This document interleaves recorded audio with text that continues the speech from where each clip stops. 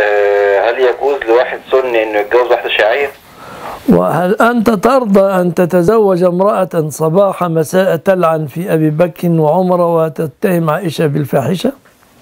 أنا ما بفهمش الصراحة هم بيقولوا إيه يعني ما أعرفش أنت لازم تعرف لازم تعرف يعني آه، فيهم فيهم قوم منهم قوم يجعلون من أورادهم البراءة ومعنى البراءة التبرؤ من أبي بكر وعمر ويلعنون أم المؤمنين ويقولون بأنها فعلت وفعلت. إذا كانت بهذه المثابة لا تتزوجها. تمام شكرا. الله يبارك فيكم